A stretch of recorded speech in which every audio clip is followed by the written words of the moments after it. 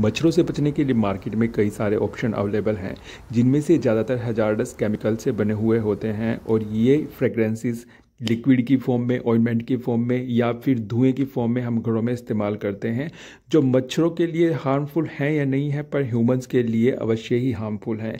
ये कई प्रकार की बीमारी कैंसर अस्थमा और जो पेशेंट एलर्जिक होते हैं, उनमें एलर्जी कोज करते हैं। स्पेशली छोटे बच्चों में इनका खतरा बहुत ज़्यादा बढ़ जाता है।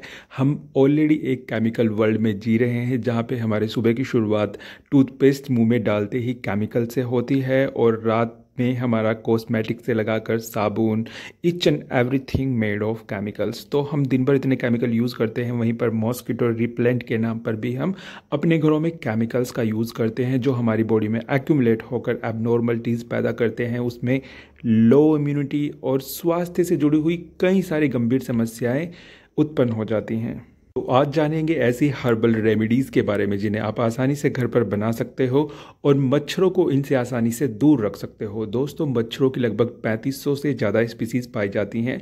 इनमें से कुछ परसेंट स्पीसीज़ ही पैथोजेनिक हैं, जैसे एडीज़ और एनाफ्लीज मच्छर ज़्यादातर इंडिया में पाए जाते हैं और ये दोनों डेंगू और मलेरिया कर्मश फैलाते हैं।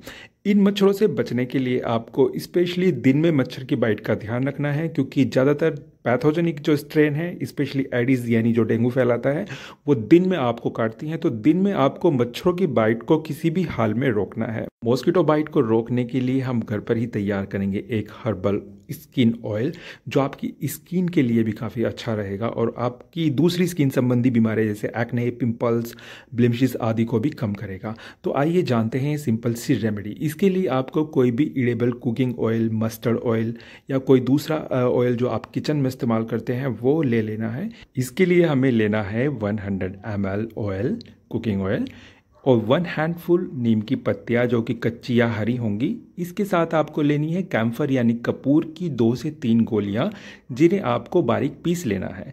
आप इन तीनों इंग्रेडिएंट को आपस में लेकर 15 मिनट तक 100 डिग्री सेंटीग्रेड पर गर्म करोगे। ऑयल का कलर जैसे ही लाइट ग्रीन हो जाएगा, आप इसे नीचे उतार लेंगे और ठंडा होने के लिए ओवरनाइट रख देंगे। ठंडा होने के बाद आप इसे नेक्स्ट डे अपनी डिज़ायरेबल बॉटल में फिल कर सकते हो और आप इसे स्किन पर डायरेक्टली अप्लाई कर सकते हैं। ये बच्चे और वीमेंस के लिए कम्प्लीटली सेफ़ है स्पेशली जो लोग एलर्जिक हैं, उनकी स्किन के लिए भी ये काफ़ी सेफ़ है। इसके अलावा ये आपको मॉस्किटो के एडीज़ या एनाफिलीज हर प्रकार के मॉस्किटो की बाइट से बचाएगा। आप इसे डे नाइट कभी भी लगा सकते हैं और ये चिपचिपा बिल्कुल नहीं होने वाला है। In fact it will work as a toner and skin moisturiser तो आप इसे ज़रूर इस्तेमाल करेंगे क्योंकि ये कम्प्लीटली सेफ़ है साथ ही साथ बेस्ट हर्बल मॉस्किटो रिप्लेंट है। अब बात करते हैं घरों के कॉर्नर में छुपे हुए मच्छरों को बाहर निकालने की। दोस्तों, इसके लिए दो टेक्निक का हम इस्तेमाल कर सकते हैं। इसमें first of all we will use fumigation fumigation यानी कि धुआँ करने के लिए आपको यूकेलिप्टिस के पत्ते लेने हैं। यूकेलिप्टिस के पत्ते आपको कहीं भी जंगल में मिल जाएँगे। अगर नहीं मिलते हैं तो आप नीम के सूखे हुए पत्ते भी इसकी जगह इस्तेमाल कर सकते हैं। फ्यूमिगेशन यानी धुआँ करने के लिए आपको यूकेलिप्टिस के पत्ते लेने हैं, गीले ही लेने हैं, और इसके बीच में आपको कपूर की जलती हुई दो गोलियाँ डालनी है। यूकेलिप्टिस के पत्ते बहुत ज़्यादा इनफ्लेमेबल होते हैं, और ये गीले ही आग पकड़ लेते हैं। इनसे जो धुआँ निकलता है, उससे आपके घरों में छिपे हुए मच्छर भाग जाएँगे, और ये धुआँ भी आपके लिए हजारडस नहीं होगा सेफ़ है। तो आप इस तरीके से अपने घरों के कॉर्नर्स में छुपे हुए मच्छरों को भगा सकते हैं। अब बात करते हैं तीसरी टेक्निक की। मच्छरों में कार्बन डाइऑक्साइड को सेंस करने की बहुत ज़्यादा पावरफुल कैपेसिटी होती है तो इसलिए ह्यूमन बॉडी को इस्तेमाल कर पाते हैं।